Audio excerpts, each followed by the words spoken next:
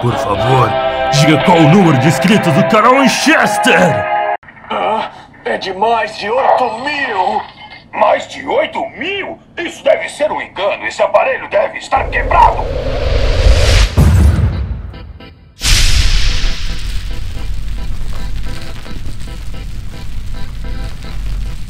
E aí pessoal, beleza? Bem-vindos a mais um vídeo!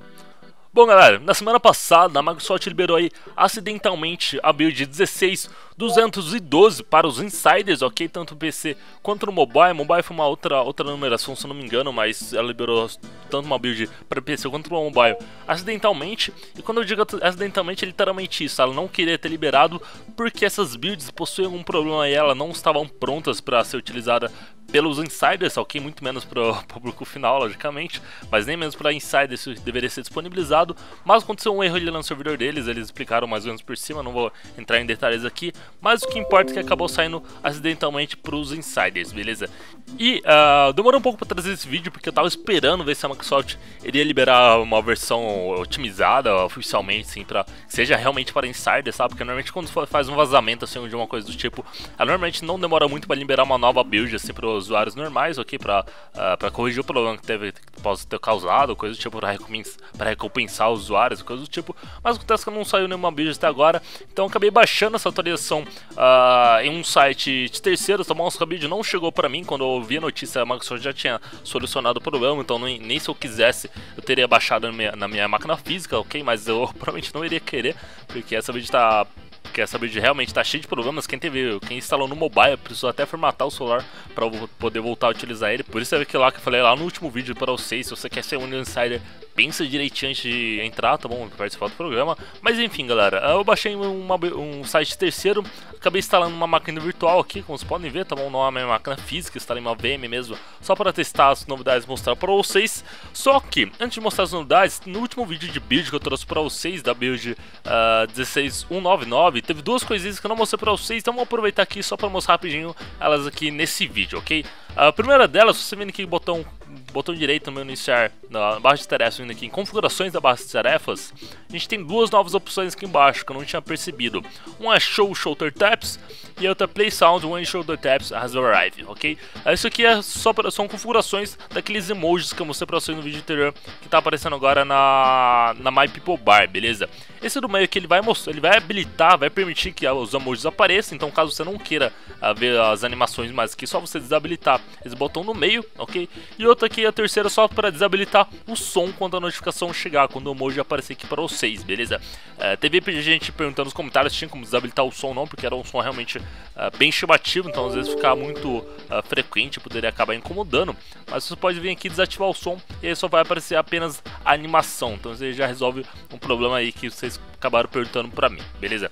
E outra coisa que eu preciso mostrar pra vocês, na verdade, que eu uh, até mostrei, mas eu passei a informação errada pra vocês, é que naquela parte de compartilhar, naquela nova tela de compartilhamento, eu falei pra vocês que aqui na parte de contatos do e-mail só aparecem os contatos frequentes, não tinha como selecionar os outros contatos. Mas tem sim, tem esse botãozinho que tá até bem escondidinho, por isso que eu não tinha olhado.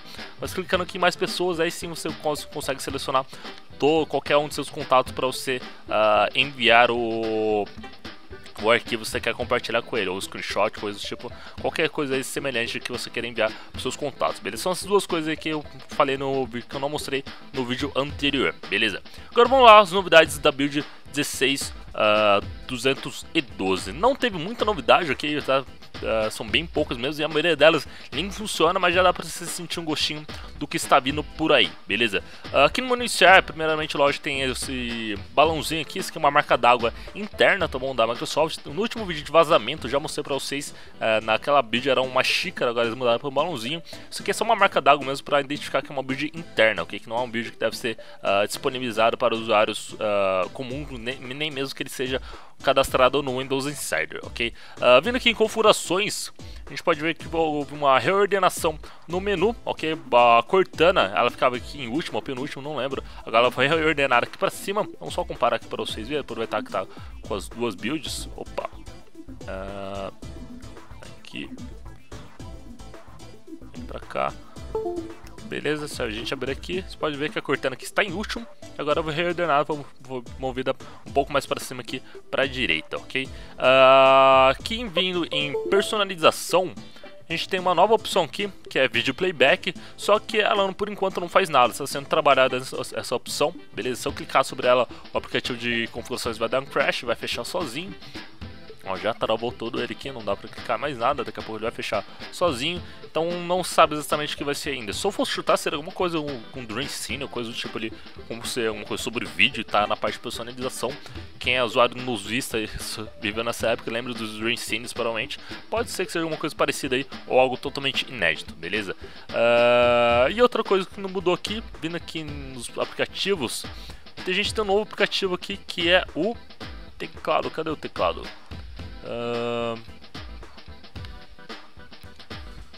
E bom galera, tinha um aplicativo de um novo teclado que apareceu aqui Microsoft Test Application Uh, só que uh, o aplicativo sumiu dessa build que não sei o que aconteceu, desapareceu de repente só porque eu fui gravar, essas coisas sempre acontecem quando eu for gravar, uma merda. Mas enfim, era um novo teclado, só que não aparecia nada. Vou colocar umas imagens na tela para vocês verem. Uh, ele simplesmente era um contorno de teclado, era só uma janelinha ali com o nome de teclado no, no nome do aplicativo, mas ele não, não tinha como interagir com ele, tá ok? Uh, provavelmente ele, ele, vai ser o novo teclado do Windows 10 PC, que o, para quem não tá acompanhando as notícias, aparentemente um teclado do do Windows 10 Mobile ele vai ser migrado para a versão PC também, então a gente vai ter o mesmo teclado nos dois sistemas, ok? Então aquele teclado touch que a gente tem aqui no, uh, no PC atualmente, que é esse daqui, ele vai ser substituído pelo teclado que a gente tem já no Windows 10 Mobile, que é um teclado muito melhor, muito superior ele vai ele é bem mais útil aí para vocês, então já é uma unificação a mais nos sistemas, beleza? Uh, e a outra última novidade aqui que o splash screen do Microsoft Edge, vocês vão conseguir, ah, deu para ver,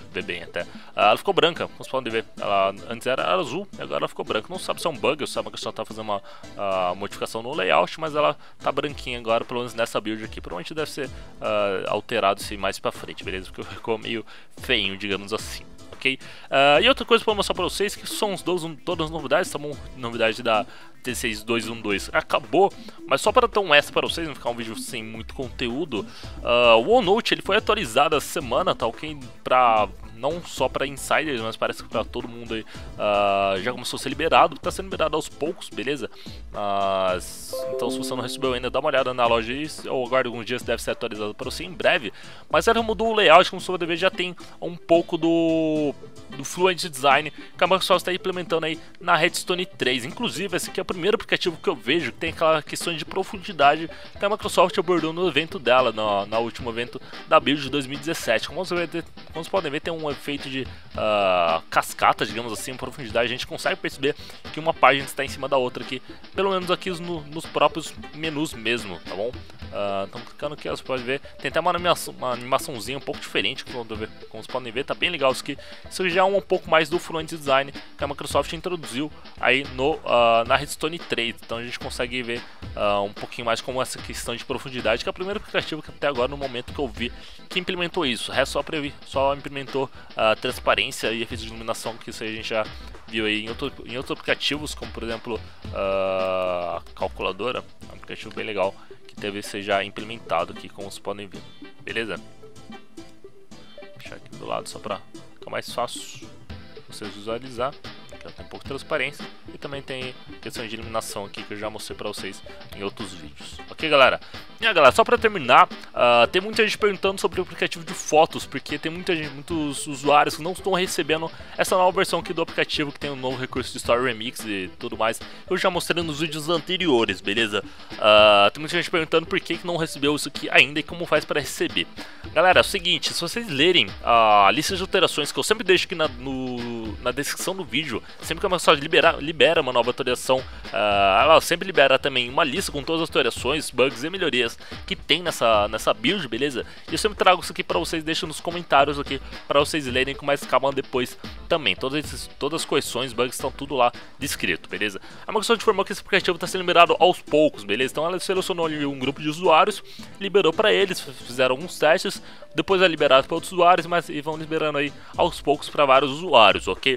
Uh, ela falou que se você quiser uh, furar essa fila, digamos assim, É só você mandar uma solicitação para eles, ok? Lá no, na, no comentário, aqui, na, no link na descrição do vídeo, tem tudo bem explicadinho para vocês. Mas você pode mandar uma solicitação para eles, que eles vão avaliar seu caso. Pode ser que eles liberem para você uh, essa atualização com mais antecedência, beleza? Mas essa altura do campeonato, galera, já deve ter tanta solicitação lá que eu acredito que nem vai valer mais a pena você se preocupar com isso, beleza? Uh, quem, quem, leu, quem acabou chegando primeiro, ó, quem acabou lendo isso aqui logo no dia que a Microsoft liberou essa lista de atualizações, acabou tendo prioridade e já deve estar tá recebendo as atualizações logo logo, já deve, ou já deve até ter recebido. Então essa altura do campeonato, acho que mesmo você mandar sua solicitação para a Microsoft, eu acho que não vai adiantar muito, mas pode tentar lá, pode mandar a solicitação, vai que você dê sorte e receba a atualização logo logo aí. Uh, antes dos outros usuários, antes do próximo grupo de liberação, digamos assim, dos novos recursos. Beleza, galera? Bom, pessoal, então é isso. Vou ficando por aqui. Espero que vocês tenham gostado desse vídeo. Como falei, galera, essa é uma build uh, que ela foi liberada acidentalmente, tá bom? Então, não, se você não recebeu essa atualização ainda, não se assuste, porque ela não está sendo liberada mais. É uma build bastante problemática. Pode ver que até subiu um aplicativo ali que tinha antes de eu começar a gravar o vídeo. Uh, deve ser uma nova atualização mais, entre aspas, oficial essa semana, ou mais tarde da semana que vem. Vamos esperar aí para ver como é que como é que vai ser, quando é que vai ser liberada. Mas assim que sair uma nova notícia eu trago aqui para vocês, tanto nas redes sociais quanto aqui no canal, beleza? Falando nisso, siga a gente nas redes sociais, facebook.com.br canal ou arroba canal, tanto no Twitter quanto no Instagram. Beleza, galera? Vou ficando por aqui, um forte abraço a todos e não se esqueçam, canal Chester ajudar pessoas e ensinar coisas é o negócio da família. Tchau, tchau pessoal, até a próxima e fui!